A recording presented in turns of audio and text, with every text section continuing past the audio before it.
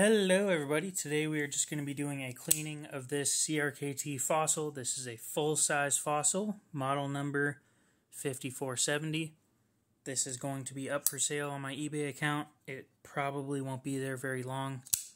It should be going for about 35 if I'm not mistaken. Please do check that out. That does not include shipping. 35 is roughly half of what these go for brand new, and this one is basically brand new other than the uh, no box. Not a big deal to me, but if that's a big deal to you, I'm sorry. We're going to do a mild cleaning because I don't want to take this thing apart. It's in really good condition other than a little bit of dust on the inside. so to clean this, we're going to use isopropyl alcohol.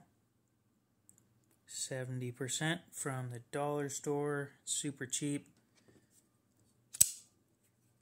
makes things nice and easy.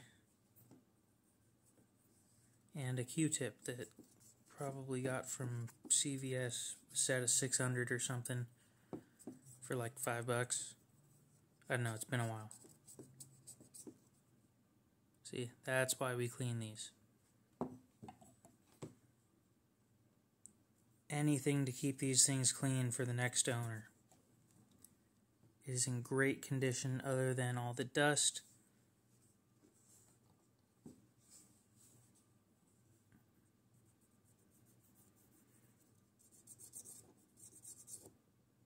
Oh yeah, there we go. Is there anything else? Nope, don't see anything else. Okay, next on the list, a drop of oil right there. That will help make this smoother.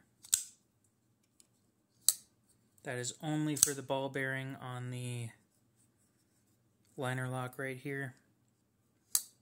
It does make things a lot smoother. Now this thing is on ball bearings. We will clean up here a little bit.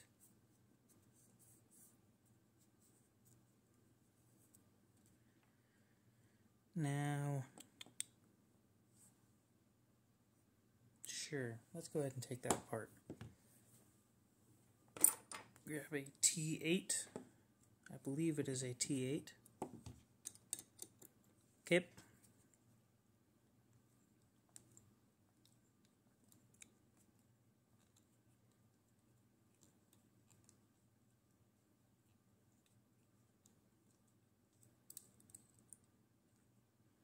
There we go. I've never taken one of these things apart, so gonna get a good look real quick.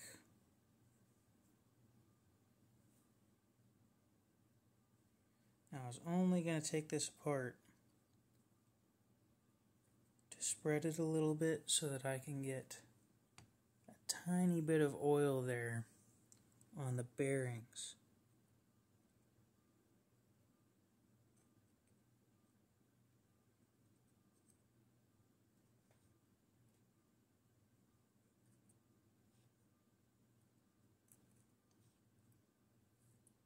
Okay. Next we will put this back in. And we will recenter it the way that it was.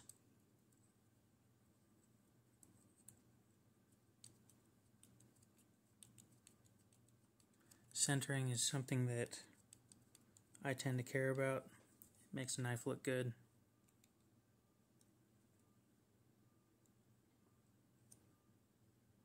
Okay. Oh yeah. That thing rockets out like it's assisted now. Heck yeah. For such a big blade, it is a little bit surprising. We will go ahead and clean up the excess. The oil I use is food safe. It is mineral oil. I wouldn't be too super worried about anything. There will be a little bit of excess showing up right here. It will go away as you open it and clean it. Do not be surprised by that. It does have a completely factory edge with a tiny bit of glinting right here in the recurve. That right there. It's kind of hard to see, but it is there. Other than that, um, I don't see any blemishes or anything on this thing. It is immaculate. It is a little bit dirty from me cleaning it, putting my hands on it and stuff. We will go ahead and clean that off real quick. This thing will be up for sale again on my eBay. It will be linked down below. First come, first serve. Lower 48 only. I cannot afford international shipping, and I do not want to do the customs forms for sending a 4 inch blade knife out to another country. This is a 4 inch recurve drop point. Overall, pretty comfortable. But yeah, it should be $35 plus shipping. Shipping is going to be around 10 Hope you enjoyed the video. Have a great rest of your day, and we will see you in the next one.